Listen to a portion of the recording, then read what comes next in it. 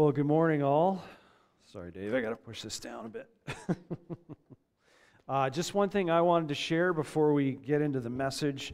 Um, we are going to be um, spending some time in prayer corporately between Easter and Pentecost, uh, Easter Sunday and Pentecost Sunday. Uh, we're going to be gathering here together, and uh, I, I, didn't get it into the bulletin yet, but I will have more details for you next week on that. So just, just keep that in mind that uh, we, uh, through those seven weeks, want to be praying together. So uh, if you have your Bibles, I'm going to ask that you turn with me to the book of Isaiah in the Old Testament. Isaiah chapter 42. We're going to read the first four verses.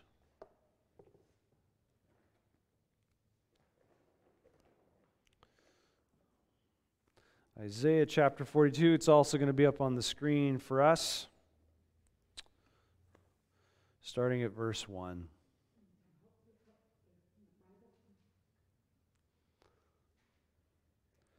Here is my servant whom I uphold my chosen one in whom I delight. I will put my spirit on him, and he will bring justice to the nations. He will not shout or cry out or raise his voice in the streets. A bruised reed he will not break, and a smoldering wick he will not snuff out. In faithfulness, he will bring forth justice. He will not falter or be discouraged till he establishes justice on earth. In his teaching, the islands will put their hope. May God bless the reading of his word this morning.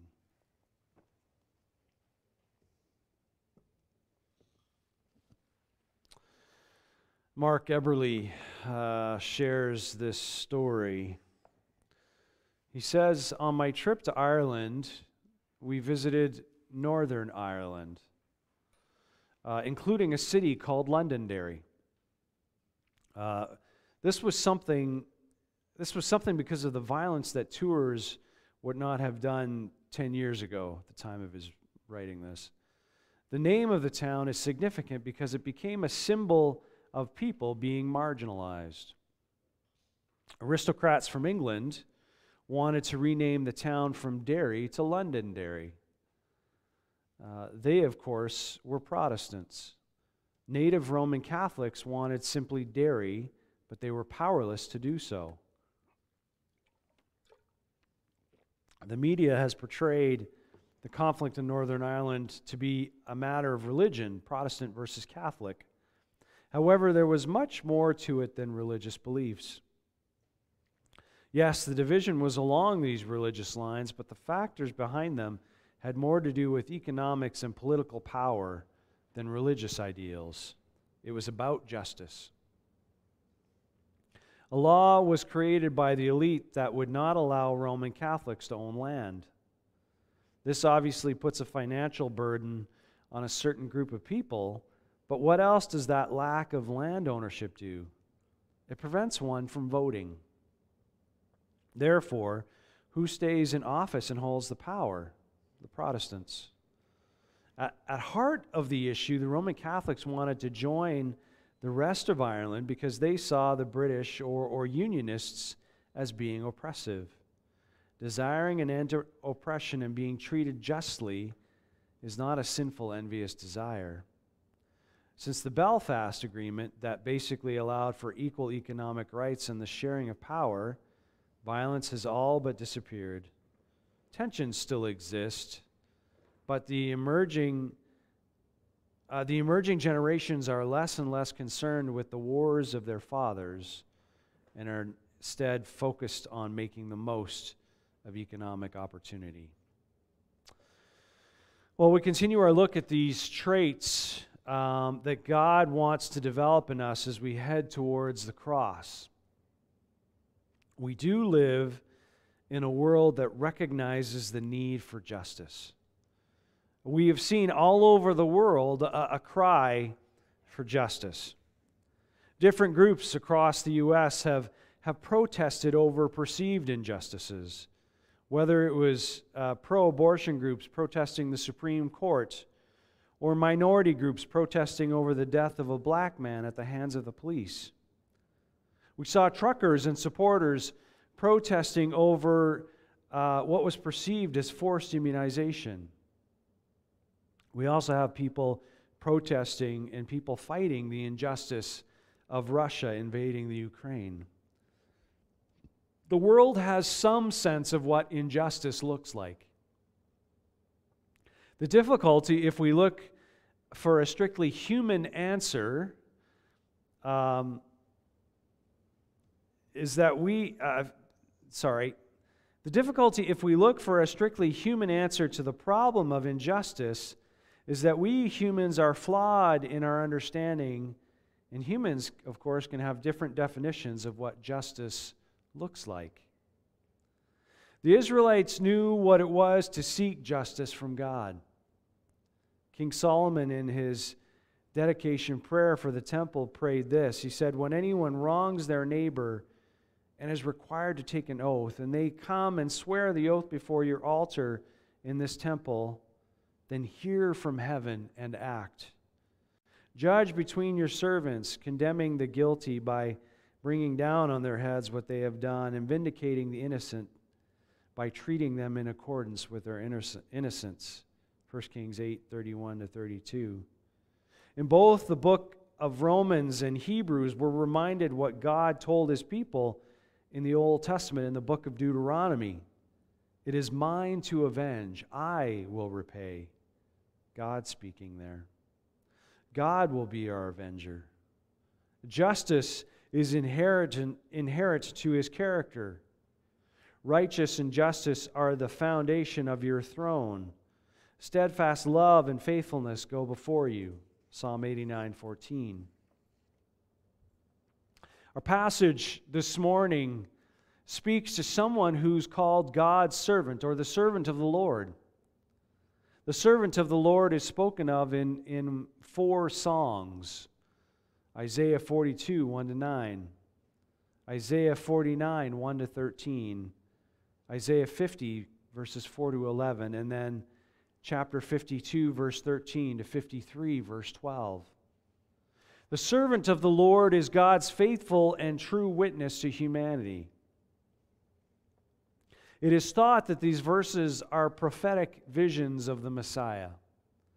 And in Matthew's gospel, he claims that these verses point to Jesus in Matthew 12, 18 to 21. Chapter 42 is our introduction to the servant, and we're given a glimpse into his character. So let's take a look at what we can learn about the servant from this passage this morning.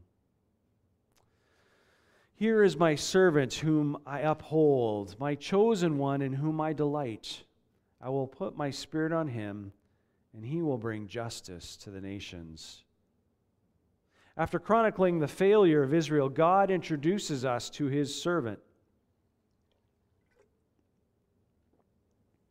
And God says that He affirms him, or confirms him, I should say. When someone is the servant of another, the, the servant is required to give full service and obedience to his master. But the master is also required to take care of his servant. He also makes it clear that he has chosen him to be his servant. There's nothing random about how God works. We see how God chooses individuals to further his plans throughout the Bible. At Jesus' transfiguration, God the Father says, This is my Son whom I have chosen. Listen to him. Luke 9 35. And Peter, in his first letter, says, But you are a chosen people, a royal priesthood, a holy nation, God's special possession. 1 Peter 2 9. When we are chosen, we are given a, a role to fulfill, but even so, we must in turn choose to fulfill it. And whereas God is disappointed with Israel, he makes it clear that he approves of and is happy with his servant. He is so happy with his servant that his spirit rests on him. When Jesus is baptized by John the Baptist, Matthew tells us as soon as Jesus was baptized, he went up out of the water. At that moment, heaven was opened, and he saw the Spirit of God descending like a dove and alighting on him. Matthew 3:16. Just as God breathed life into Adam, he breathed new life into his servant and son, Jesus Christ. God's servant will bring justice to the nations. He tells his people that it won't just be Israel that benefits from the ministry of God's servant, it will be all people groups. In other words, not only the Jews, but the Gentiles too. Even though Jesus mainly ministered within Israel during his three years, the Apostle John said, For God so loved the world that he gave his one and only Son. Jesus, the servant, is going to make things right for all. And Isaiah tells us how the people are crying out for justice. So justice is far from us and righteousness does not reach us. We look for light, but all is darkness, for brightness, but we walk in deep shadows. God's people were in, in exile and they were looking for hope, they were looking for answers. The word just uh, is often translated as the word righteous. To be just is to keep righteousness. Justice is the maintenance of righteousness. If you interchange just and righteous, then, as Paul says to the Galatians, the righteous or the just shall live by faith. Galatians 3:11. Paul also told the Romans, "Do not present your members to sin as instruments of un- unrighteousness or injustice." But present yourselves to God as those who have been brought from death to life, and your members to God as instruments for righteousness or justice. Romans 6:13. Paul makes it clear that faith is the key to living a just life. Faith builds righteousness in us, and faith in Christ is the solution. One of the, one of the key difficulties in finding justice is the skewed understanding of truth. In the Western world, truth has been made completely subjective. Truth has somehow become based on individual interpretation. My truth is not the same as your truth. I mean, you've probably heard stuff like that. Or you live by your truth and I'll live by my truth. But God makes truth clear to us through the study of His Word. Uh, Dr. Bernard Nathanson was a leading abortion doctor in the United States in the 1970s. He had actually performed an abortion on a woman he had gotten pregnant during this time. This physician had campaigned vigorously for the legalization of abortion, and, and he states that he had performed over 75,000 abortions himself. But something changed Dr. Nathanson's point of view the introduction of the ultrasound in 1976. The device literally opened a window on fetal development. The first time Dr. Nathanson saw an ultrasound in action, he was convicted. He could see a, a throbbing heart and all four chambers of the heart pumping blood. He said that his mind had, had dropped the word fetus in favor of the word baby. And suddenly, everything he had been learning about the child in the womb since his entry into medicine snapped into focus. He had known what took place in the womb, but seeing it for the first time changed everything. Dr. Nathanson, the, the leading abortion doctor in America, became convinced that the human life existed within the womb from the onset of pregnancy. In an article that he wrote for the New England Journal of Medicine, he wrote, In abortion, we're taking life. After deciding that abortion was murder, he switched camps and began to campaign for a reversal of Roe versus Wade. He ended up converting to Catholicism in 1996 and passed away in 2011. Just like the ultrasound brought light to him, the Word of God brings light to us. Jesus himself said, I am the way and the truth and the life. No one comes to the Father except through me. John 14, 6. We discover how to love and what is truth and what righteousness looks like through our own personal study of the Bible. Works even better when we come together as groups and, and help one another, sharpen one another with what the Word of God says. Theologian Eric Voegelin, talking about St. Augustine's theology of justice, said this Thus, the love of God is the fountain from which justice flows. For it is only in the love of God, manifested in the love of others, from which justice can assign to each his due. And we only truly understand the love of God uh, more strongly when we study his word, when we study the Bible.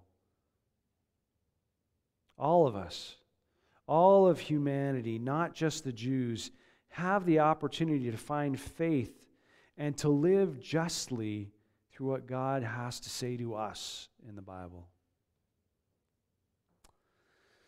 What's important to note here, though, is that God's justice through Jesus, the servant, does not come down like a hammer. Look at the rest of our passage in Isaiah 42 there. He will not shout or cry out or raise his voice in the streets.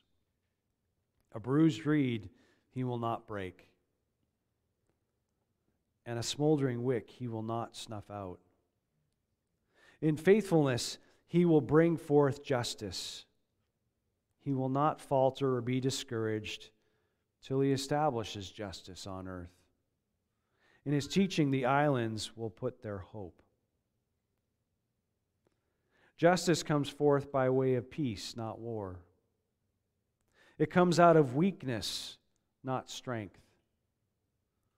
For us, it feels like it's backwards. I mean, look, look at Jesus. Look at his character. Look at how he, the, the, uh, the Gospels write of him.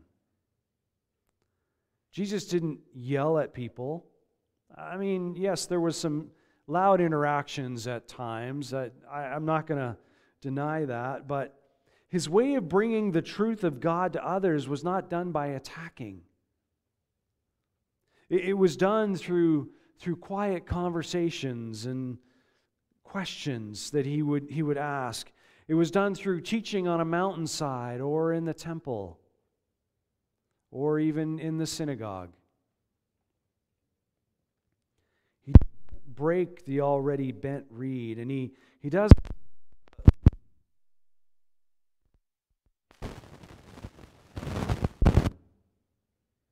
I'm not doing anything. Sorry. Um, uh, he doesn't put out the flickering candle.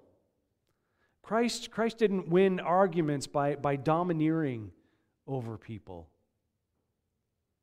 He, he disarmed his opponents through love and grace and a gentle demeanor. And, because of that, the islands, or in other words, the nations, have put their hope in him. Christ's name is declared all around the world, not just in Israel. David Prior wrote Justice and kindness are essential qualities of the nature of God Himself. They do not come down from heaven wrapped in parcels, they are expressed in and through people who walk humbly with God. And we only learn how to walk humbly through God through the life of Christ, through Jesus, the servant. Now, it's hard for many to accept that justice was served through Christ dying on the cross. But a penalty had to be paid for our sin. There was no way around it. And Christ sacrificed himself to pay it for us, for all of us. Scottish theologian Alexander Whyte said, speaking about the cross, it's the picture of violence, yet the key of peace, or key to peace. It's a picture of suffering, yet the key to healing. It's a picture of utter weakness, yet the key to power. It's a picture of capital punishment, yet the key to mercy and forgiveness. It is a picture of supreme shame, yet the Christian's supreme boast. It's a picture of death, yet the key to life. It is a picture of the vicious hatred, yet the key to love. Justice is backwards in the kingdom of God. If we want justice, we must be willing to sacrifice instead of hoard. If we want justice, we must be gentle instead of domineering. If we want justice, we must be gracious instead of demeaning. If we want justice, we, we protect the disenfranchised instead of the wealthy. If we want justice, we speak with kindness instead of hatred. And if we want justice, we live for Christ instead of the world. The cross may have appeared unjust, but it was the only way justice could be served. Served for us, served for a broken and sinful humanity. We're only a couple of weeks away from remembering the cross, really, remembering the sacrifice that Jesus made on the cross. And as we're heading in that direction, um, let's remember God's call to be a just people in His name. And I, I know full well, as I mentioned earlier, there, there is a cry for justice in our society, in our world. But we have the opportunity as God's people to see true justice done in His name. Let's pray. Lord God, we thank you uh, for this morning. We thank you for um, this picture of the servant of God. This picture, really, of Jesus. This prophetic picture that was made hundreds of years before Jesus appeared on the scene. And Lord God, as human beings, we do cry out for justice. Our world cries out for justice. And yet, when we think of it in human perspectives, we, we get lost in what justice should look like. And Lord, you made it clear that your justice is different than the world's justice. Oh, many do not understand why Jesus had to die. And yet he had to pay that penalty for my sin, for our sin, for the world's sin. And Lord God, I, I pray that I pray that the body of Christ will be seen as a more just people. That your righteousness, your justice will shine through us, that we can point to Jesus and say, Here's what justice looks like. Here's what a just world can look like. here is what it means to be a good and just people in our world.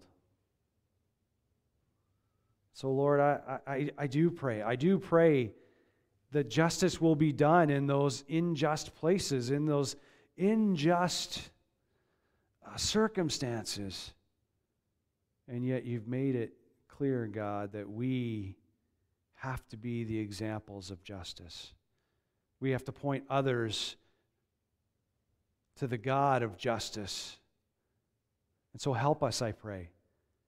Give us courage and strength to stand up for the disenfranchised, to, to stand against uh, crimes against humanity, to stand for truth, and to point others to what truth truly is found in you, found through you,